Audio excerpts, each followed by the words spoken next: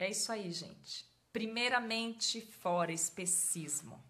E aí, agora, vamos falar que a gente parou tudo aqui no nosso trabalho, na nossa vida, tudo que a gente estava produzindo, porque a nossa caixa de mensagem começou a encher com as pessoas pedindo para a gente discutir um pouco a questão do cuspe. No gato. No cuspe, do cuspe no gato, a, a youtuberzinha lá que, que fez aquele, aquele ato de absurdo desrespeito. E antes de qualquer coisa, eu quero dizer que eu não estou querendo minimizar o desrespeito dela. Muito, muito, mas muito pelo contrário. O que eu estou querendo é maximizar aquilo que realmente é a raiz desse problema. E não deixar que esse problema, que os problemas de especismo, de desrespeito aos animais, de objetificação dos animais, de falta de, de respeito, é, ele seja soterrado por uma cusparada de uma pessoinha que a gente já não esperava outra coisa. Inclusive, eu vou tentar nem manifestar todo o meu desprezo por ela, porque para mim ela está no rol das coisas que precisam ser socorridas. Para mim, ela ocupa um espaço de vítima. Não é de vítima de vitimismo que a gente precise abraçar passar a mão na cabecinha e dizer, ai, tadinha, ela não sabia o que estava fazendo. Não. Eu só vou tentar não externar o meu repúdio, a minha repulsa à pessoa dela, porque ela está no rol de tudo aquilo que, que abarca a nossa luta anti-especismo, a nossa luta abolicionista. Porque uma pessoa que não tem é, nenhuma. Nem, é, que, que tem uma ação desse tipo, ela atesta com essa ação que ela é uma pessoa precária e desprovida de qualquer coisa. Então, ela vai para o rol das pessoas que a gente tem, tem a intenção de abolir, é, de, de, de, atuar como abolicionistas, né? Porque o abolicionismo que abole a loucura a, e, a, e o desrespeito aos animais é o mesmo que abole isso com os humanos, como eu já disse anteriormente. Então, como eu e o Eduardo, a gente parou tudo que a gente estava fazendo trabalhos de todo tipo para vir aqui e, e participar e, e, fazer, porque isso foi o que a gente se, se propôs a fazer. Então, a gente vai começar a falar sobre isso. Antes de, de deixar o Eduardo falar que eu, é, que eu queria que ele se pronunciasse mais do que eu dessa vez, é, eu queria só dizer para as pessoas Gente, vamos, por favor, nos munir de toda a abertura mental que a gente puder para entender que esse comportamento é, ele não pode roubar a cena porque ele é a ponta de um espinho que é fruto de uma árvore que todos os dias a sociedade rega. Rega quando pede para ter o direito de, de colocar a tortura como cultura rega cada vez que educa o seu filho para acreditar que animal é um objeto e que ele pode deliberar sobre a vida do animal, que o animal é um presente fofinho para ele brincar nas horas vagas, que o animal é, é um subser Todas as vezes que a sociedade pede para colocar a cultura da, do, da tortura, a cultura da exploração, que o, o filhinho tem o direito de comer ovinho, tomar leitinho, comer carninha. Esse inho, ele banaliza o terror para o animal.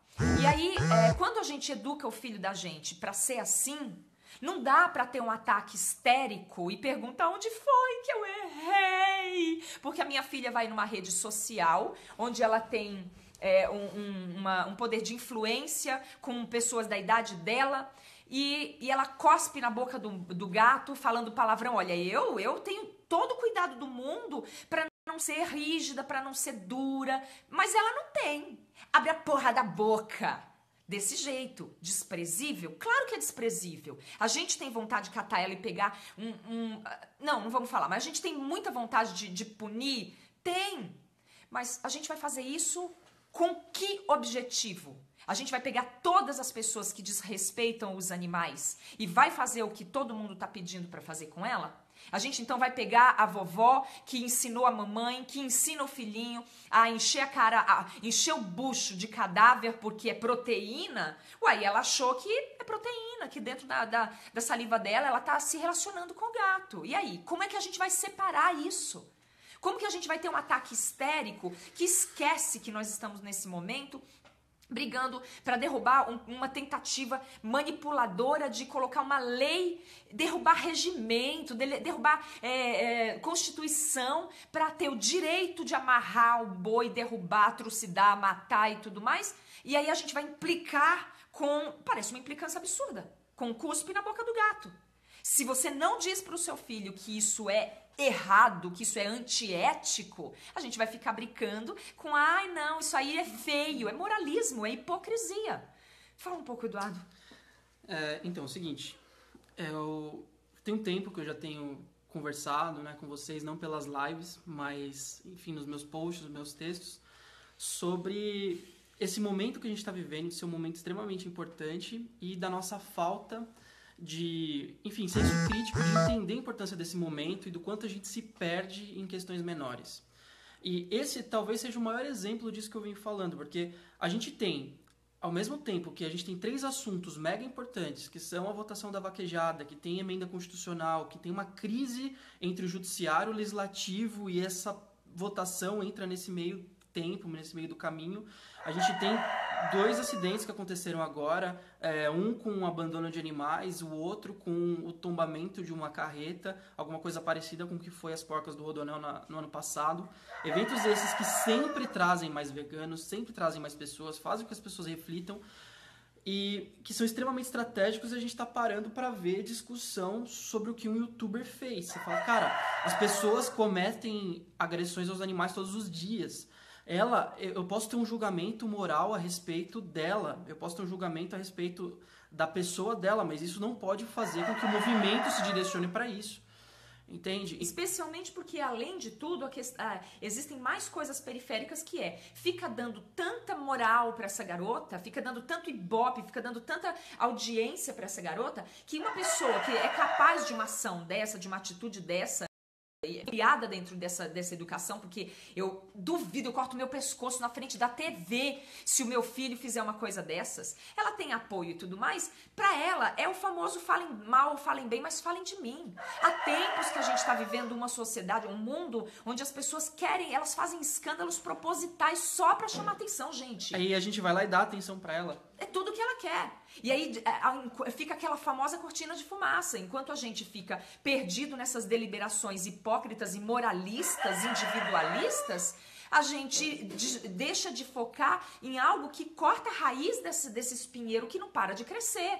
A semana retrasada, uma criança que amarrou bomba na boca de um cachorro, explode a boca do cachorro. Eu já falei isso várias vezes, porque isso realmente me chocou, chocou meu filho, embora a gente saiba que isso acontece o tempo todo. Mas as mesas lotadas de, de carne não são diferentes. Ou é assim, tombou o caminhão de porcas. Ai, que horror! Nossa, que horror! E essas porcas estavam indo para onde? Fazer o quê? Se não tivesse tombado, estavam todas onde? Fazendo, acontecendo o quê? No prato das pessoas que iam comprar. Ia passar por, pelas mesmas coisas. Gente, isso é uma esquizofrenia moral. É esquizofrenia moral. A gente não pode deixar que isso é, tome um, um vulto a ponto de destruir o que a gente está construindo com tanta força e vontade. Eu fiz um texto né, sobre a guerra de informação que está acontecendo. Então, por exemplo, é, o pessoal da vaquejada está colocando como se tivesse assim uma dicotomia entre os direitos animais e os nordestinos e não é isso. Tá acontecendo uma guerra de informação pesada e a gente em vez de se preocupar com esse tipo de coisa, sabe? A gente está aqui parando para falar de de guspe na boca do gato. Eu acho que a gente precisa de um senso de urgência. A gente precisa ter noção de que isso aqui é uma revolução, isso aqui não é brincadeira. Entende? E me parece que, enfim, os veganos eles ainda estão muito adolescentes nesse sentido. Estão olhando, é, eu me faço essa crítica também, às vezes eu me vejo me perdendo, mas a gente pega uma questão menor e fica naquilo e não dá, o momento não dá para isso. E eu entendo que a, a, quando as pessoas se indignam, elas falam assim: olha, mas se vocês não se posicionam a esse respeito, é, essa garota forma é, uma legião de cuspidores de boca de gato. Eu entendo que a, a gente tenha que ter uma preocupação, mas essa preocupação ela não pode atingir um nível em que ela é contraproducente. Porque a produção da gente é a conscientização. Se eu educo meu filho para não ser especista, logo ele vai ter é, a consideração por todos os seres, eu não vou ter que me preocupar com isso aí. Só que a gente ainda vive numa sociedade onde pessoas dizem eu amo animais, tatua um gatinho aqui, um cachorrinho aqui. Essas é, é, as pessoas que a gente devia contar com elas, porque são já pessoas com uma predisposição a compreender tudo isso, porque já tem uma empatia e uma afinidade com gato e cachorro, elas são especistas ao máximo, de uma maneira flagrante. Porque será que se alguém tivesse ido cuspir lá na boca de um bezerro, alguém teria se mobilizado dessa forma? Nós estamos lutando, gente, por, por bilhões de animais bilhões, é, mais ou menos 80 bilhões. Nós somos 8 bilhões de pessoas no, no planeta e o planeta já está abarrotado. Imagine o que são 80. Então são vezes 10 que nós lutamos para libertar. Nós temos vídeos onde aparecem pessoas não apenas cuspindo na boca de um bezerro ou de um porco, mas espancando a cara deles, enfiando faca na garganta deles e rindo, pegando a cabeça deles Coisa em agonia pior. e fazendo isso, espancando cara de macaco dentro de laboratório, técnicos de laboratório fazendo isso. E, gente, e, e, um desses vídeos, por exemplo, se chama Terráqueos. Cadê que as gateiras e as cachorreiras querem, querem ver? Não querem, porque sabem que não vão aguentar, porque vão sentir ternura, empatia e compaixão e não querem se comprometer em renunciar ao seu prato de bacon. Oh, o Everton Sanches está aqui comentando que ele também concorda que esse assunto tirou foco. E, e Everton, não é só esse assunto né? Na verdade, eu tô, a gente está dando um exemplo de uma situação que é geral, que é mais macro. Então, assim, o que a gente queria é que conversar com as pessoas e a gente refletir sobre o que, que a gente está fazendo aqui, entende? Se a gente está aqui para ficar julgando as outras pessoas como um monte de pessoas moralistas e que afastam as pessoas, ou se a gente está aqui para fazer uma diferença que ela é concreta, que ela é sólida, que ela, é, que ela atravessa o tempo, entende? Não é sobre julgar uma atitude individual, é sobre alterar uma estrutura, sobre alterar toda a moral, toda Nossa, a sociedade, o direito bem. e as instituições, é entende? Isso não é sobre um julgamento individual, porque a demanda a gente nunca vai conseguir atender. Se a gente ficar punindo as pessoas que fazem coisas é, que são desestruturadoras da ética dentro do mundo, desorganizadoras, que são. É, existe o termo é, etimológico do que é diabólico e o que é simbólico. O simbólico é o que une, e o diabólico é de dia, dial, é o que separa. Então a gente precisa se apropriar desse entendimento para fazer ações que sejam realmente não profiláticas, mas curativas, que realmente extermine esse problema. Ó, o José Afonso, ele trouxe o tipo de perspectiva que justamente eu critico aqui, que ele fala, vou dar minha opinião. Ela é uma formadora de opinião e esse gesto é simbólico. Tá, a gente tem vários níveis de, de ação e de construção aqui. Você tem o símbolo, que ele existe em todo lugar, porque você tem instituições que recriam esse símbolo o tempo todo. Você pode conversar com uma, duas pessoas, mas você tem uma indústria fazendo uma propaganda e formando opinião de muitas e muitas pessoas. Você tem é, a educação que já na escola diz que o, o, animal ele foi feito para dar lã, que foi feito para dar leite, etc. Isso atinge muitas pessoas. Enquanto essa estrutura for dominada pela ideologia do especismo, essas coisas vão continuar acontecendo. A youtuber, ela não é mais formadora de opinião do que formada de opinião. A youtuber, ela, essa menina, por mais seguidores que ela tenha, 3 milhões, 4 milhões, 5 milhões, ela ainda é alguém imersa na estrutura. Dificilmente ela é alguém que consegue enxergar de uma maneira ampla. Uma pessoa que está cuspindo na boca do gato, ela está influenciando pessoas, mas ela não está influenciando mais pessoas do que uma propaganda de qualquer indústria que está fazendo. E ela passa. Os professores ficam. Por exemplo, o meu filho estuda é, com um professor que é o professor de ciências, um professor de biologia. Ele é um criador de aves. Ele diz sempre o mesmo argumento. Ah, eu crio para não se extinguir. Mas, gente, se a gente quiser criar gente só para não se extinguir, para servir de escravo, já pensou se a gente começar a fazer um monte de pessoas? Ah, não, vamos criar gente para ser escrava, para construir pirâmide, como era na época lá dos faraós. A gente, ao invés de, de é, ficar com medo de machucar, ferir, trair, roubar e tudo mais, a gente cria gente só para ser escravo. Seria ético isso? Então, por que, que é, é justificável alguém criar pássaros para preservar a espécie dele, para continuar engaiolando? Isso é uma, uma, uma coisa tão sem noção que a gente de, de, tem dificuldade de exprimir, de encontrar vocabulário para exprimir. Então, aí o que, que acontece? As pessoas começam a ter julgamentos individuais e não conseguem entender que tudo isso que ela está combatendo nasce num lugar onde ela mesma pode só tirar a tampinha. É só tirar a tampinha e parar. Não, olha, o gato não é mais importante do que o bezerro, do que o porco, do que o peixe. É assim. Aí uma vez uma pessoa falou para mim: ah, os veganos só falam de peixe, porco, galinha e. Fr... Aí você fala assim: aí parece que só existem esses animais. Eu falei: e tu? Fala sobre o quê?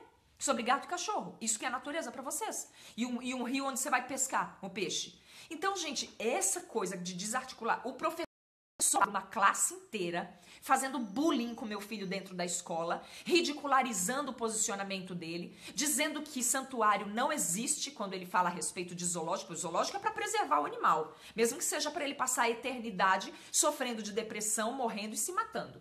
Aí é, é, o meu filho contesta e explica a questão do santuário, se realmente a tua intenção é preservar os animais, nós temos o santuário. Aí é, é, o professor ridiculariza ele. Esse professor, ele é menos influenciador do que essa youtuber, gente? A youtuber não tem credibilidade, ela é uma moleca, ela é uma, uma fedelha que mal saiu das fraldas. O foco dela é ser sensualizar, falar palavrão e ser mal educada, vazia de conteúdo, não tem nada, não tem experiência, não tem vivência. E as pessoas estão fazendo ela ser influente. Nós estamos fazendo ela ser influente quando a gente compartilha o vídeo dela. Ela não é influente, ela não é nada, ela não é ninguém. A gente tem o poder sobre isso. Entende isso? Agora, quando a gente diz que. Ah, quando os veganos porque eles brigam para salvar é, galinha, porco, abelha, borboleta, passarinho e tudo mais.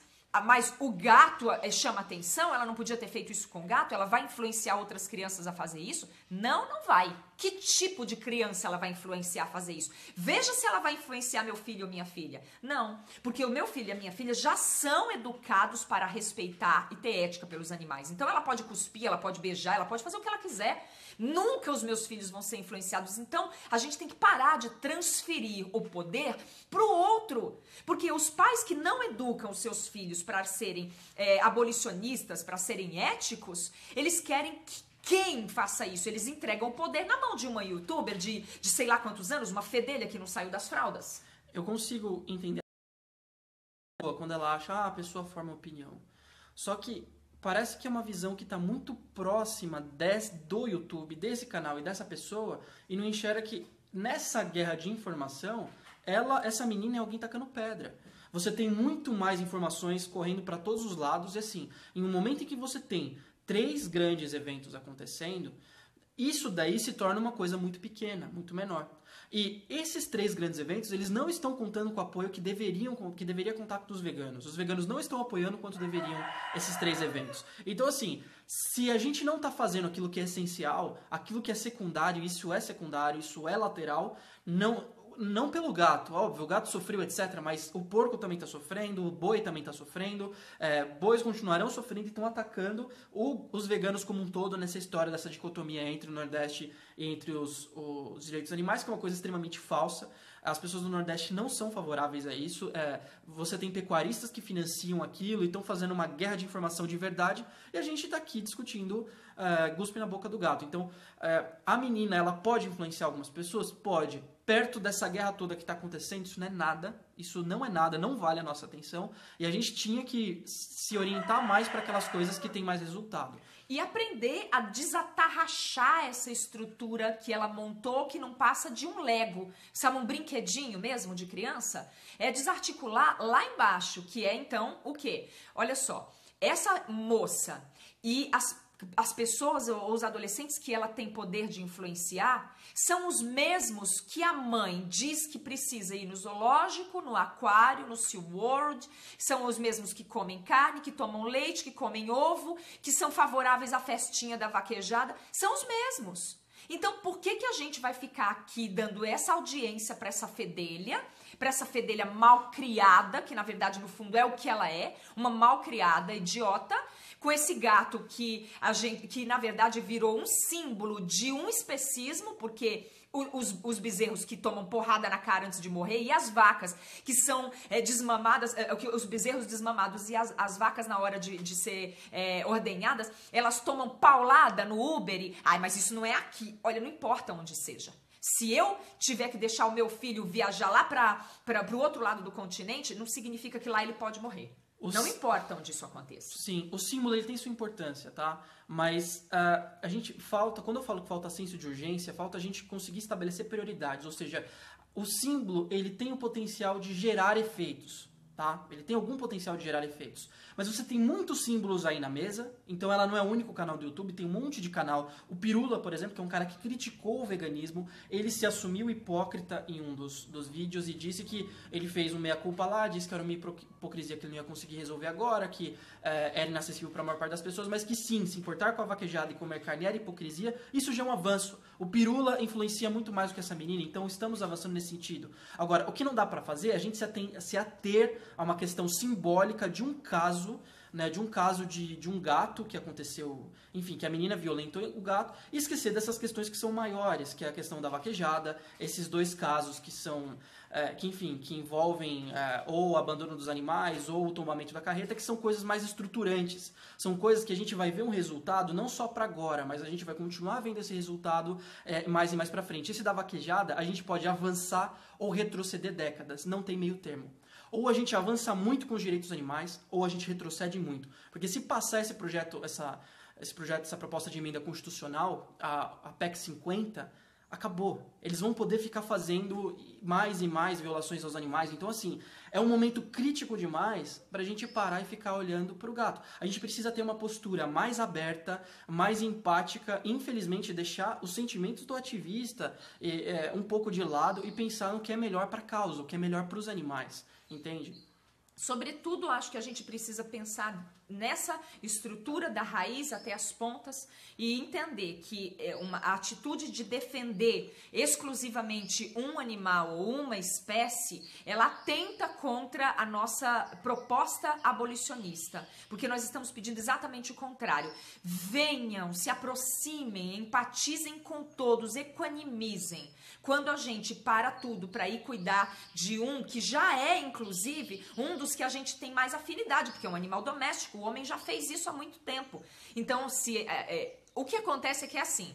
O gato chama mais atenção porque todos nós, há um consenso que aqui na nossa cultura não é o costumeiro é, comer gato, por exemplo. Quando a gente falar, mas então vamos defender os bezerros do mesmo jeito, a vaca tomar paulada no Uber e a, o, o, bezerro ser espancado antes de morrer, viver como é, vitelo numa casinha igual de cachorro, sem no escuro para poder virar vitelo, você também não acha isso errado? A pessoa quer dizer que acha, mas aí ela lembra da churrascaria Aí ela lembra que se ela dissesse, ela admitir que ela acha mesmo que isso é uma atrocidade, ela vai precisar se comprometer com a opinião dela de uma maneira ativa e ela vai ter que não, então ela não vai poder ir para churrascada hoje à tarde.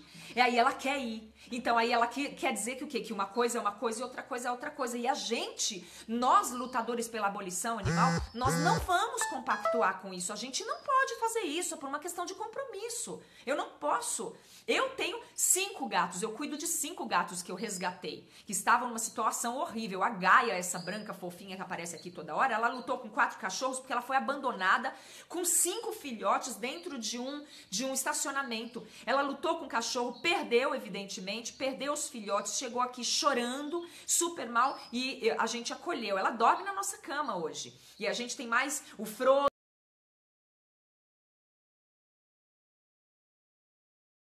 pulga, a gente cuida de tudo. Então eu tenho essa consciência. Só que para mim, o gato e aquelas duas éguas que eu resgatei no meio da rua babando de, de, de, de doença são exatamente a mesma coisa, pessoal. Gente, se eu tivesse visto uma youtuber cuspir na boca de um bezerro, eu sentiria a mesma indignação. Sim, então por isso que eu acho que a gente não pode ficar se atendo a essa postura estritamente moralista, tá? E outra, quando a gente fica nessa postura estritamente moralista, a gente cria um afastamento das pessoas, a gente fica, a gente é visto pelo terceiro, pelas pessoas em geral, como aquelas pessoas que ficam julgando, julgando, julgando. E o que a gente precisa aqui é investir em estratégias de educação, é investir em estratégias de, é, enfim, de conscientização das pessoas, é investir em soluções que, que enfim, acertem diretamente o que está acontecendo com os animais. A gente precisa ser mais direto. Mas não, a gente está aqui discutindo o símbolo, entende?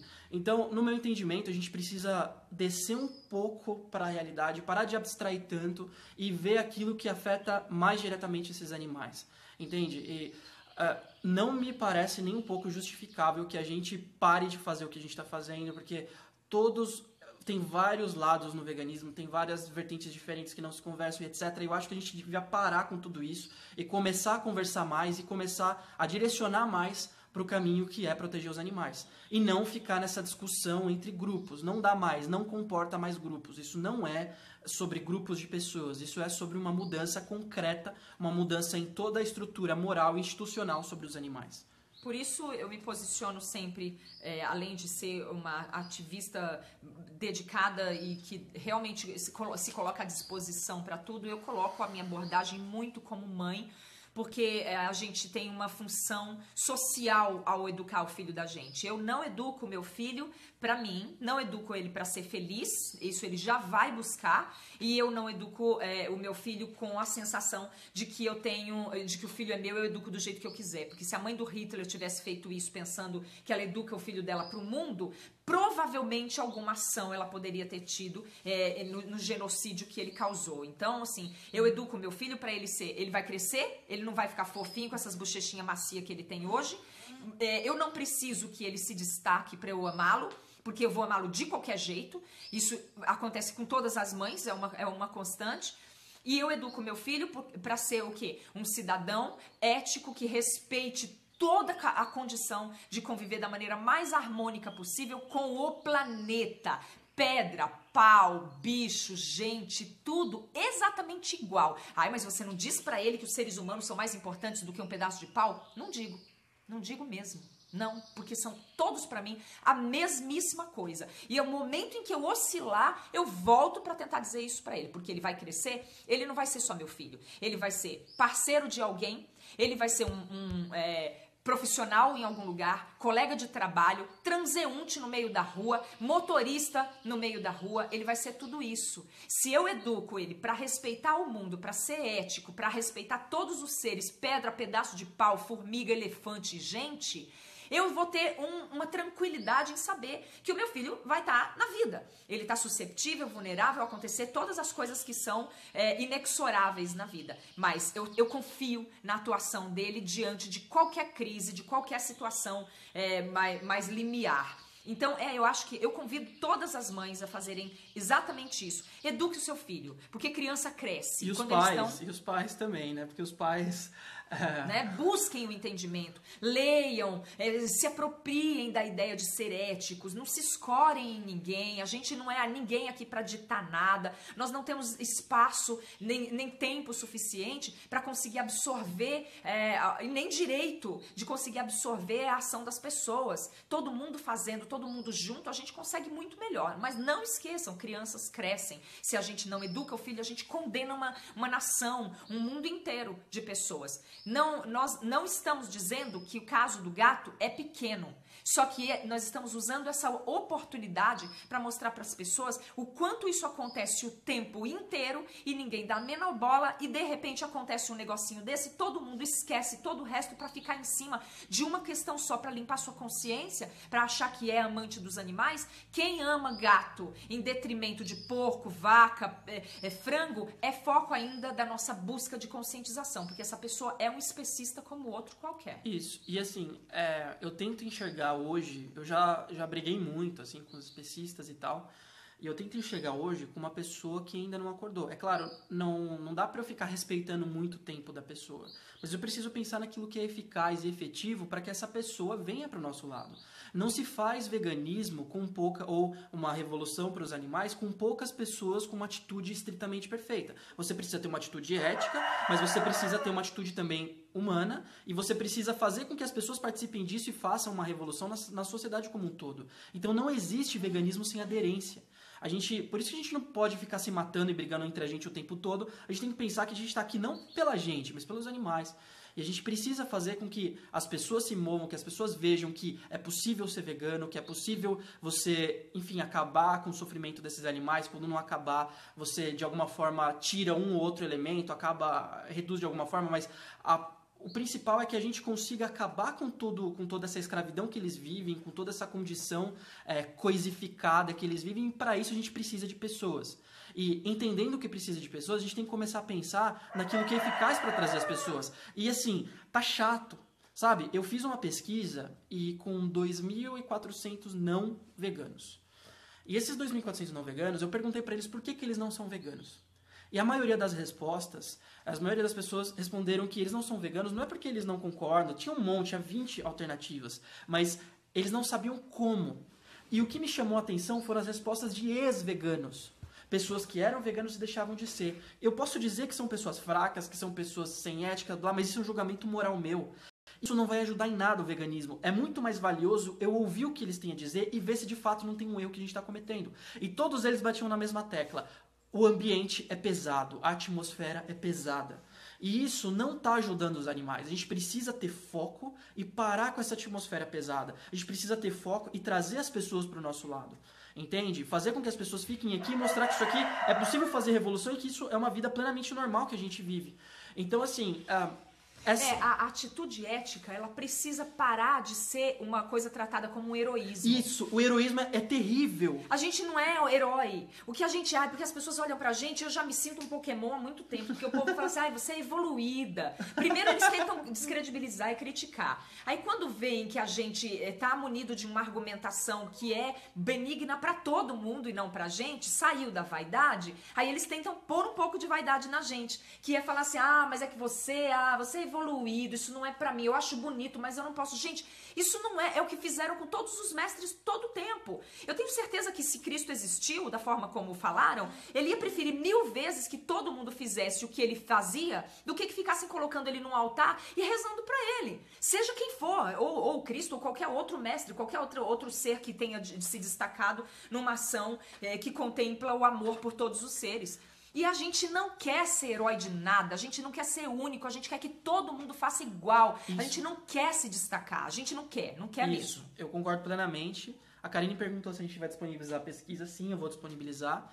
E indo, pegando um pouco no, no gancho do que a Nana falou, é, o heroísmo, ele na verdade, ele presta de serviço para os animais. Essas pessoas excessivamente moralistas, elas prestam de serviço. Porque quando ela começa a fazer um monte de sacrifício para parecer perfeita, ela começa a, a querer. A, a, coerência dela parece ser mais importante do que o efeito para os animais. E isso distancia As das outras pessoas. pessoas. Porque, por exemplo, eu que. Eu, eu vou só fazer esse adendo que eu acho importante. Eu resolvi que eu ia abrir a minha vida, a minha casa, para se transformar num pequeno santuário. Então eu acolhi, hoje eu tenho mais de 20 animais aqui que nós tutelamos, cuidamos até onde a gente possa. Nós estudamos a biologia deles, o comportamento deles, o que seria melhor para eles, a temperatura.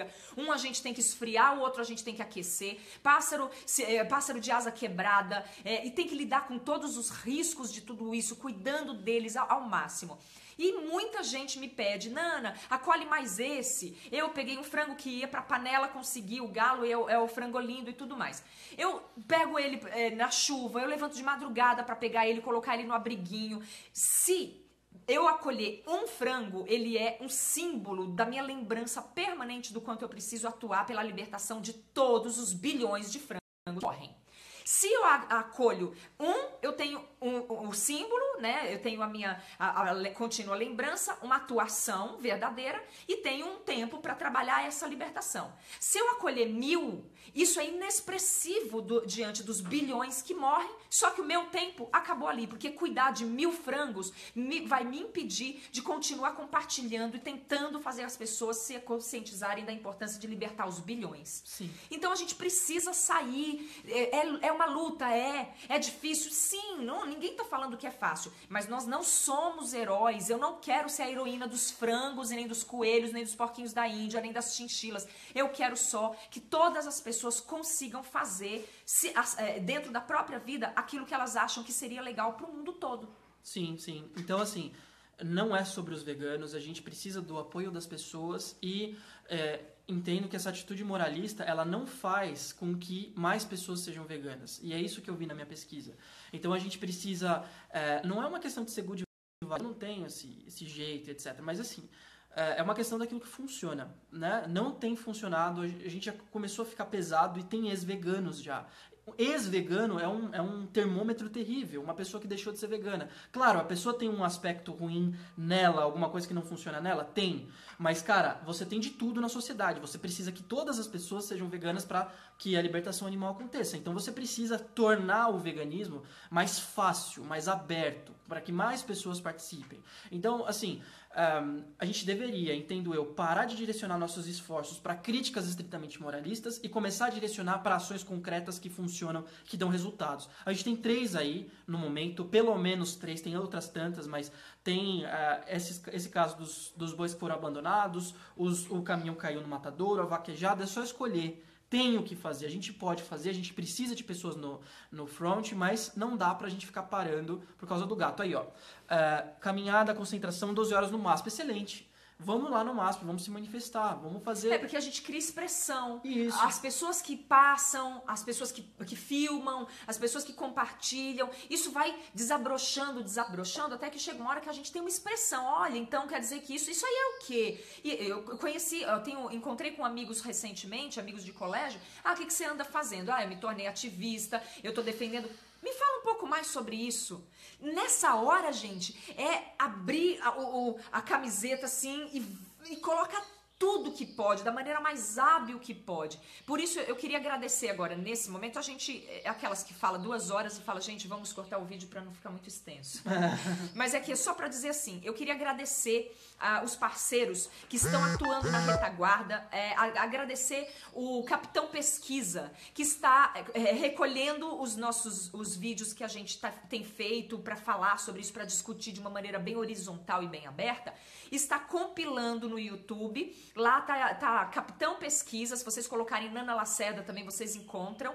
É legal por quê? Porque às vezes a pessoa não tá com tempo agora, ela não consegue entrar nessa conversa nesse momento, nem participar, mas ela tem um lugar lá onde a hora que ela tiver um, um tempinho, ela pode usufruir compartilhem esses vídeos, é, transformem isso numa, numa explosão de informações, uma explosão de conversa, de questionamentos, de participação. Isso ajuda de verdade a causa. Tem a minha página no, no Facebook, que é Vegana é a Mãe. Tem um canal que eu abri que chama Vegana é a Mãe no YouTube. Eu sou muito pouco preocupada com essa coisa de views, eu não alimento dessa maneira. Eu alimento realmente ao ativismo, mas tem conteúdo lá. Tem a página do Mini Vegano, que eu quero que as pessoas visitem com toda, com toda liberdade possível. E o canal do Mini Vegano, porque é uma criança que começou a ser ativista aos 11 anos de idade, que já, já tinha se tornado vegana, que, trans, que mostra o que é uma vida de uma criança que respeita os animais e não vive num paraíso, vive numa vida normal, passa por todas as dificuldades e que pode, é, que eu assino embaixo, não como mãe, mas como, como cidadã e como ativista dos direitos animais, que jamais vai ser influenciado por uma youtuberzinha desse tipo. Então, se vocês educam seus filhos para serem éticos, vocês não precisam se preocupar com a influência de ninguém, porque ela, ela faz isso, mas, gente, desde que o mundo é mundo, que existe gente por aí tentando trazer influência ruim. No, sempre é culpa do outro, sempre é culpa do outro que o teu filho foi pro mau caminho porque alguém é, seduziu. O traficante também é altamente sedutor, mas o seu filho não usa, não, não é seduzido pelo, pelo traficante facilmente se ele tiver uma, uma educação vigilante, presente e cuidadosa. Então, assim, é educar o filho. Participem disso, divulguem os vídeos do Mini Vegano. É uma criança falando por si. Eu não participo do canal dele. Ele que se vira, ele e a minha filha, a irmã dele, que ficam criando conteúdo e fazendo coisa e falando com as crianças. Uhum. Uh, eu tô vendo, eu acho legal que o pessoal começou a discutir aqui uma questão já dos santuários, e, enfim, eu acho que esse é o caminho sobre não deixarem. Uh, a lei, o artigo, acho que é o 21 ou 25, não lembro agora, da Lei 9.605, ele autoriza você apreender os produtos do crime ambiental né, e levar para um, um lugar adequado. Né? Enfim, o santuário seria um deles. Você tem também o 301 do Código de Processo Penal, que você pode, enfim, prender alguém em flagrante, não é o caso, mas você pode entrar na residência de alguém, pelo artigo 5 né, inciso 11. Então você pode entrar na residência em flagrante delito ou para prestar socorro. Isso se é, estende para as empresas também. Então, eu vejo maneiras de, de, resolver isso. Eu tenho certeza que as pessoas que estão vendo isso são extremamente competentes. Eu estou até no grupo, mas eu não estou conseguindo ver muita coisa, estou vendo um bilhão de coisas. Eu vou tentar ajudar nisso, não sei se posso ajudar muito, mas para Lu Cassini, que comentou, uh, eu vou tentar ir atrás disso, tá? Uh, aqui, Bauru, fica umas 4 horas daqui, então acho que fica complicado de chegar até lá mas eu vou tentar e chamar a ajuda de outras pessoas para a gente ajudar, enfim, mesmo que seja remotamente. Tá, é isso, gente. A gente tem bastante coisa para continuar falando e a gente vai ficar presente, atento o tempo todo. Eu estava fazendo os meus trabalhos, o Eduardo também, a gente parou tudo, Tô porque justamente para não deixar os, os, parceiros desamparados da nossa, da nossa proposta de sermos uma força que, que agrega, que se junta. É, isso é a nossa proposta. Nós estamos fazendo isso porque a gente realmente se dispõe a juntar, somar, agregar e, e realmente tirar esses entraves da nossa, da nossa engrenagem que está novinha, ainda, ainda pouco oleada, mas que a gente pretende não permitir que atitudes é, é, desprezíveis como dessa youtuberzinha venham a turvar a nossa visão mais ampla que contempla todos os seres e que se a gente continuar nessa luta, daqui a algum tempo nem vai ter gente com essa, com essa disfarçatez para fazer esse tipo de coisa. É, e, e, se tiver, ela vai responder isso de uma maneira muito mais é, contundente e não vai ficar por isso mesmo, ninguém xingando, sua isso, sua aquilo, porque isso não resolve nada, isso só inflama a fogueira e apaga fogo com álcool. Eu acho que a gente conseguiu algum, algumas vitórias muito importantes, tá? É, enfim, eu fui financiado para ir para Brasília, né? Os ativistas se juntaram e pagaram, outras pessoas foram também. É, enfim, por duas vezes a votação no Senado foi adiada, o que já é uma tremenda vitória. A gente gastou no máximo 10 mil reais para ir todo mundo para Brasília. Eles tiraram pessoas do Ceará e levaram para Brasília 700 caminhões que são pilotados por pessoas que consomem combustível, com animais dentro, que consomem comida e água. Saiu milhões essa brincadeira. Então, se cada vez que a gente gastar 10 mil, eles gastarem milhões, a gente consegue, ainda que eles tenham mais dinheiro, a gente consegue dar mais dano, então a gente consegue equilibrar essa conta. Então, assim, foi uma vitória muito grande. O apoio do Conselho Federal de Medicina Veterinária também foi uma vitória incrível da Associação de Medicina Veterinária Legal foi uma outra vitória que a gente precisa entender que, que é extremamente estratégica e importante, e do Ministério Público Federal. Então a gente precisa saber como está o cenário, como estão as peças nesse tabuleiro e que a gente não está sozinho, que a gente tem muita chance de conseguir ganhar. Só que para isso a gente precisa de coesão, de união e de foco.